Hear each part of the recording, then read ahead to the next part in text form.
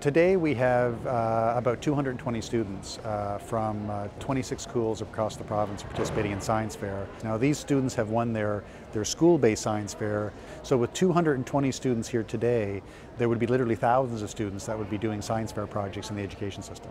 A number of the scientific questions that students are asking themselves are things that we're hearing in the media. So important issues of the day, the quality of our groundwater, uh, bullying and the psychological effects of bullying, how we can develop uh, uh, new energy sources on Prince Edward Island. So, so themes sort of emerge based on what people are talking about in communities. So it's great to see those projects here.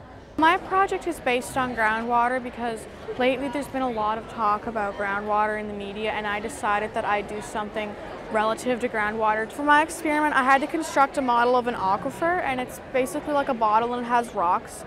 They only go up to a certain layer and my experiment was to test whether height differential, like depth of the hole that the water could go out, would affect the amount of water that would come out in a certain amount of time. I'm sure you heard the saying, an apple a day keeps the doctor away, or carrots are very good for your eyes.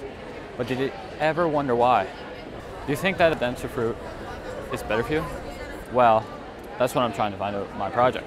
And now my hypothesis was incorrect.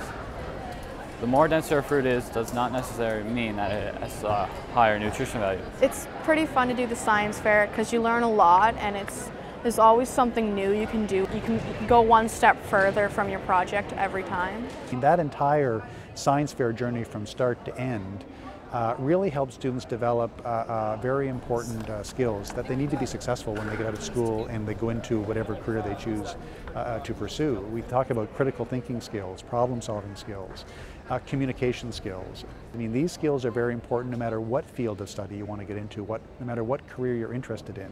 You need to be able to think on your feet.